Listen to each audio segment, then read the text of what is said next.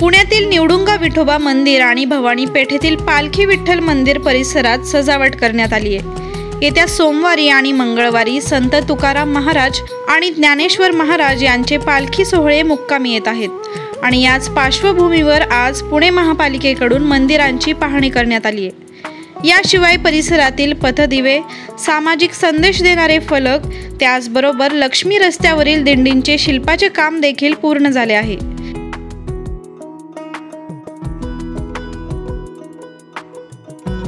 याशिवाय अन्य सुविधांबाबत माहिती पालिकेकडून देण्यात आली आहे.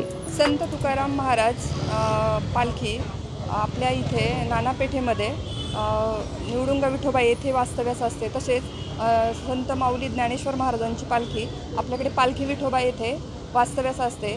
तर आपल्याकड आपल्याकडे नानापेठेमध्ये पूर्ण वा हजारो लाखोने भाविक आपल्या इथे उपस्थित असतात.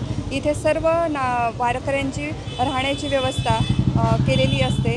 तसेच येथील शाळा वास्तव्यास उपलब्ध करून दिल्या जातात. तसेच आपला स्वच्छता स्टाफ सर्व यंत्रणा या पालखीसाठी सुसज्ज आहे. पाणीपुरवठा विभाग असेल घनकचरा व्यव व्यव व्यवस्थापन असेल त्यांच्याकडनं स्वच्छतेची व्यवस्था असेल. तसेच वॉर्ड ऑफिसकडचा पूर्ण स्टाफ तसेच इतर अतिरिक्त स्टाफ याद्वारे स्वच्छता केली जाणार आहे. या पालखीमध्ये या सर्व गोष्टी गोष्टींचा आपल्या येथील नागरिकांनी तसेच येणाऱ्या वारकऱ्यांनी लाभ घ्यावा. आत्ता जस्ट माननीय चंद्रकांतदादा पाटील आणि महिला आयोगाच्या अध्यक्षा स- सौ रुपालीताई चाकणकर यांच्या हस्ते हस्ते आरोग्यवारीचे उद्घाटन झालेले असून त्याचाही सर्व महिला वारकऱ्यांनी लाभ घ्यावा.